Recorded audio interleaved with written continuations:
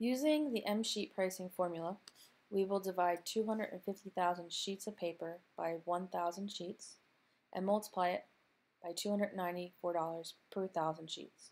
So when we divide 250,000 by 1,000, we get 250, and 250 times 294 comes out to $73,500.